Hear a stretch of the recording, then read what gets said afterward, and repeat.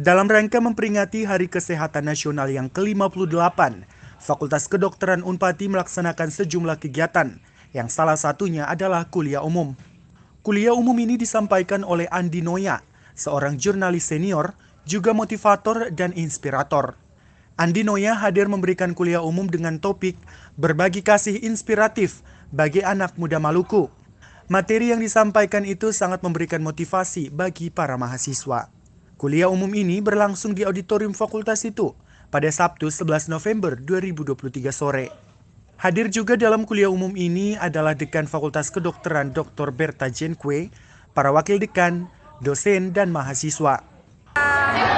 Anitoya, terima kasih sudah hadir bersama-sama kami, ya, seorang uh, inspirator, seorang motivator, dan uh, sangat baik luar biasa yang dibawakan tadi mahasiswa tenang menyimak dengan baik dan bisa merasakan ya uh, bagaimana kita hadir untuk orang lain itu sebenarnya makna kebahagiaan yang ingin, ingin Om Andi sampaikan apalah artinya kita untuk diri kita sendiri ya kebahagiaan akan uh, uh, kita rasakan kalau kita berguna bagi orang lain. Itulah tahap signifikan yang disampaikan oleh Om Andi. Di akhir kegiatan kuliah umum itu, Dekan Berta juga memberikan cenderamata kepada Andi Noya selaku narasumber dalam kuliah umum itu.